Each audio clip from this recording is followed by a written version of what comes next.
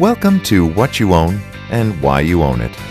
This quarter, we focus on CN Rail. Established in 1918, CN Rail is a transportation business with an extensive track network across North America. CN's network of approximately 21,000 route miles makes the company the largest track operator on the continent.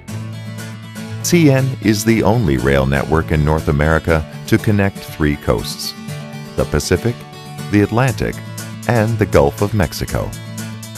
This competitive advantage allows the company to meet the transportation needs of a wide variety of domestic and international customers. It would be incredibly difficult, if not impossible, for a competitor to purchase the land and raise the capital necessary to duplicate CN's rail infrastructure. The next question is, why do we own it? In order to answer the question, we have to look deeper into CN's ability to generate revenues in excess of its operating expenses, costs of maintaining its rail system, and making the necessary investments for future growth. CN has generated over $74 billion in revenue since 1999. The company moves a diversified portfolio of goods, including petroleum and chemicals, grain and fertilizers, coal, metals and minerals, forest products, and automotive. A wide variety of freight and customers has helped CN prosper during good times and bad. Over the same time frame, CN has had over $52 billion in operating expenses. Fuel represents a significant cost of doing business. Railroads are more fuel efficient than their closest competitor, trucking.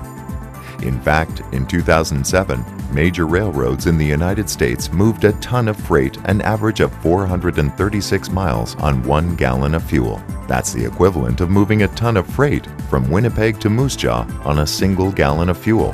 This represents an 85% improvement in efficiency levels when compared to 1980 fuel efficiency.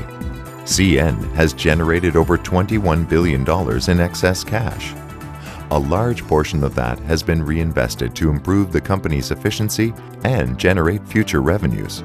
In order to improve speed and reduce bottlenecks, CN has twinned bridges which allows stacking of cars and also added new transfer stations. They also acquired EJ&E Railroad in 2009, which allowed them to bypass the congested metropolitan Chicago area.